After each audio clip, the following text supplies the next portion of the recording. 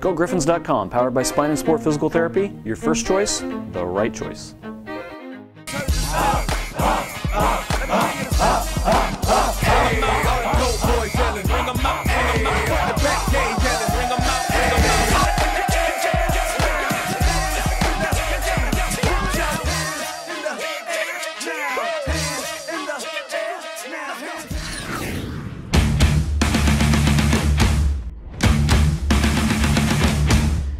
Entering his 38th year as a head coach, his 25th at Missouri Western, and with 608 career wins under his belt, Tom Smith has a retirement strategy that he'd rather not take. I know that if we don't get um, back up to where I think the program deserves to be, um, then you know it's probably time for somebody else. But this season's Griffon team hopes to put those plans on hold. Yeah, we have some bigs that are pretty versatile and then some other guards that can shoot it. There's little doubt in my mind we'll shoot the ball a lot better than we did last year. The Griffons are shooting much higher than last season's 9 and 17 record, a season where nine losses were decided by just six points or fewer. I think we have to do a better job of closing out wins. Overall, Missouri Western brings in a mix of five newcomers and seven returners, including second-year guard James Harris, an offensive threat who struggled to consistently find a hot hand last season.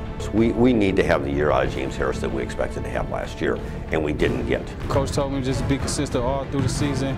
I got to lead my team on the court. Uh, when Coach Smith's not talking, they're trying to hear me. Throw in three-point threat Alex Toluca, new coming swingman Janan Markotovich, and Al Freeman Flowers, and the Griffons have the potential to possess heavy offensive firepower. I think that this year we're going to have two or three guys that we can actually go to, uh, maybe even more. And maybe if all comes together, one of the most historically successful teams in the MIAA can get back to where they belong. You know, our goals is to be back up in that, uh, you know, top four or five, uh, you know, and be competing at the top of the league. If not the winningest coach in Missouri Western history, we'll have to search deeper into his soul to reach a decision he's never had to make you know, I don't, I don't think in my case, you know, it's not a case of being tired or, or anything else. I think it's just a case of, of this program, I think, deserves to be at the top.